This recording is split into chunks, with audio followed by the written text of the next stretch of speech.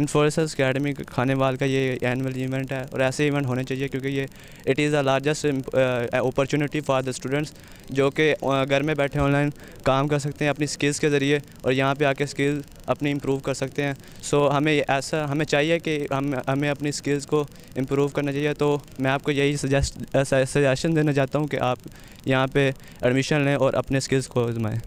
thank you